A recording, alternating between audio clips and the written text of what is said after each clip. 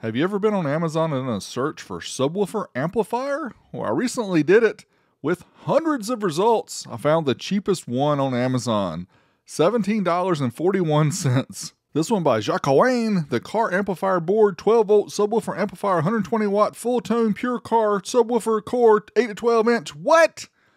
Features Poder, the C5198 plus A 1941 tube amplifier using nominal power of 80 watts, power of 400 watts, maximum power of 120 watts. Did you see the memo about this? This is not a Mickey Mouse program. Big shout to Ken K over on Facebook for letting me know about this. I figured you guys would want to see what's up with this amplifier.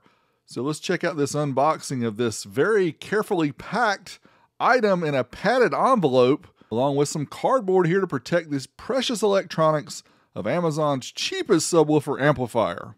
Here on the face, you can see it is a car amplifier.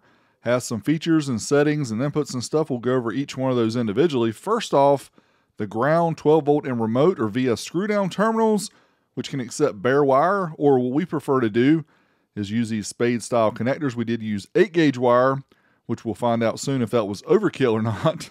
There are sockets on the amp here for high output and high input, but there are no wiring harnesses with the amplifier or instructions to explain it. We'll just assume it's a speaker level input as well as a pass through going back out to your speakers. Also, we have RCA line level inputs, we have an MP3 input, and a volume control. That's right, this is not a gain control, it's a volume control. And 3.5 millimeter there for the MP3 jack, which works in conjunction with the line level and RCAs. In the center, we have a power LED. We have a control switch to go from S bass to bass to full. Also LPF, which I think is a low pass filter from 40 hertz to 200. Again, we're not explaining what S bass versus bass is. We assume flat is turning off the crossover altogether, but we will find out. Now, talking about finding out, we're going to show the guts of the amp, but we're going to show it later in the video, of course. As far as dimensions go, it is 5.5 inches wide, 3 inches high, and about 4.8 inches for the depth. It does appear to want to be mounted like in a subwoofer box, so you have a cutout that you can mount the amp straight in. Now we get the amp wired up again using the 8 gauge power and ground, also the RCAs. We'll fire it up. You can see the blue power LED. That means we're good to go, right? Good to put it on the amp dyno. Well, not so fast, my friends. We decided instead of doing the amp dyno test first, we're going to do the speaker test first.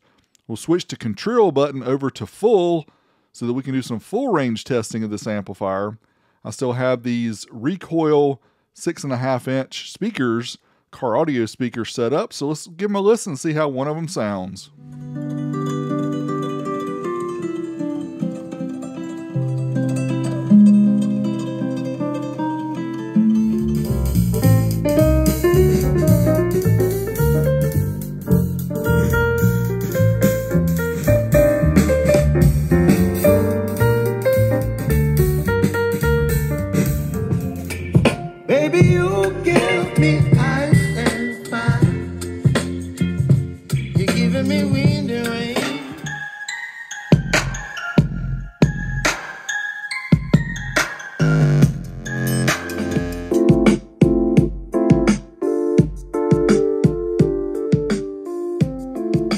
Savard 6.5 inch HiQ subwoofer has a RMS power handling of 350 watts, sports a 2 inch voice coil, 11 millimeter one way X-Max, 22 millimeter overall, 80 ounce Y35 magnet, long strand Kevlar cone for added strength, cast aluminum basket, as well as integrated 12 gauge spring loaded terminals. Overall, these are great subwoofers. I've used them for several years. Thanks to Savard for sponsoring this video. If you want to check these out, make sure you check links in the video description. Use code WAL7 for 7% off these or other Savard subwoofers. Let's go on to more flexing. Overall, wasn't mad with the sound quality coming out of the bookshelf speaker, but let's switch it over to S bass and adjust this low pass filter to about the middle setting. Let's try it with the Savard HiQ 6.5 inch subwoofer.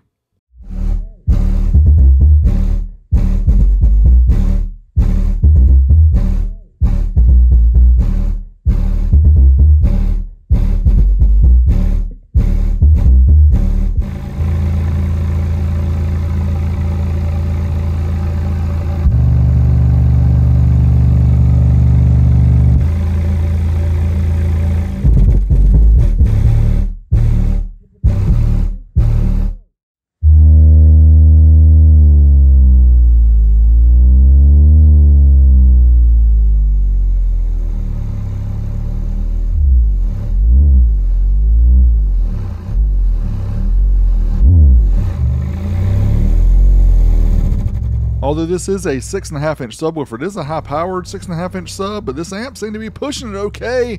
I was kind of shocked, honestly, at how well it pushed the sub. Now let's move on to the amp dyno test where we're going to look at the power output in watts on the left, the ohm load in the middle, the voltage of the dyno on the right. We're also going to have the remote clamp so that we can calculate the amplifier's efficiency. I'm pumped. Let's let the healing begin. Other than unicorn watts of this thing being rated, we have no idea what it's rated. So we're going to try 8 ohms first, see what we get here. Certified, takes us up to 1% distortion. We're using the 40 hertz track. We get 39 watts at 14.38 volts. We'll switch over to the dynamic track again, 40 hertz pulse tone, and just a little bit over 40, 41 watts at 14.36. All right, let's reset the dyno here for 4 ohms. We think it might be rated 80 watts. We don't know because of the crazy listing. Let's try it up to 1% distortion first. Can we get that 80 watts? No, we don't. We get 55 watts at 14.34. We'll set it up here for the uncertified test, which takes us up to clipping. Let's see if we get up to clipping. And we're closing in on that 80 watts, but not close. 68 watts at 14.32 volts. What about dynamically? Can you feel the 80 watts coming? No.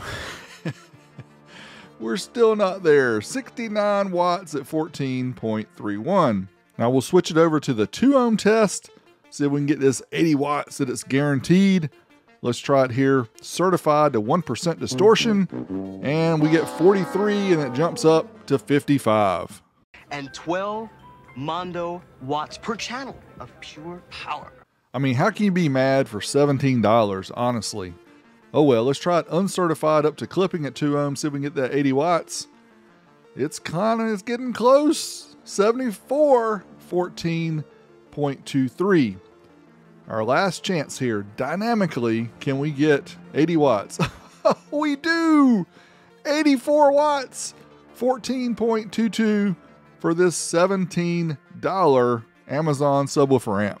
Of course, an inexpensive amp comes with its cost, such as efficiency. Check out the super low efficiency this means. This is most likely a Class AB amp. We'll find out here in a minute when we take a closer look.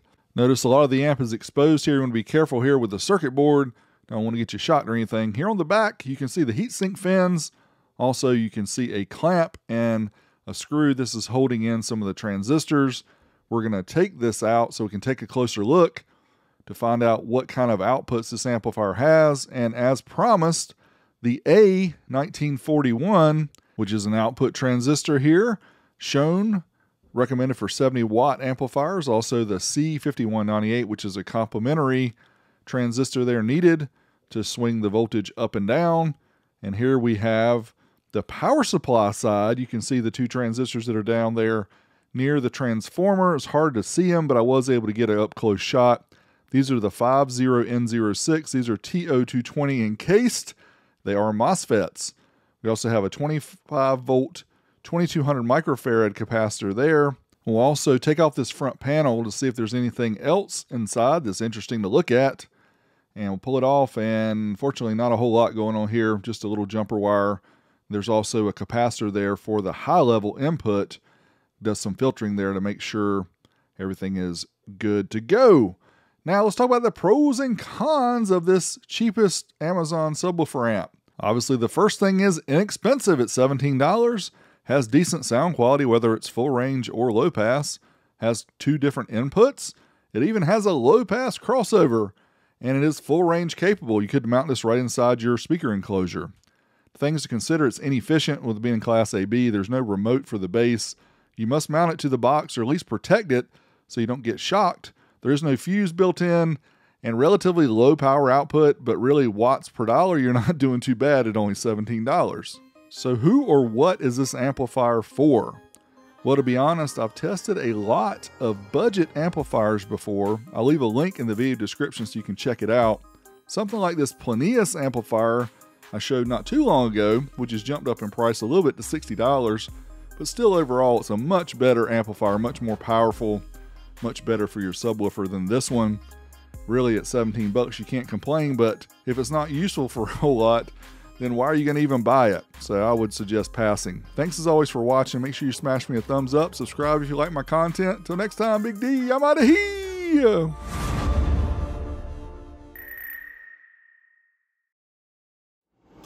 What about one ohm dynamic for the cheapest subwoofer amplifier on Amazon? Can it handle one ohm? I don't know.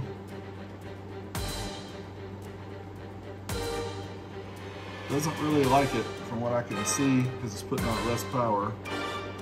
60 watts at 14.24. Yeah, we'll keep this one at 2 ohms.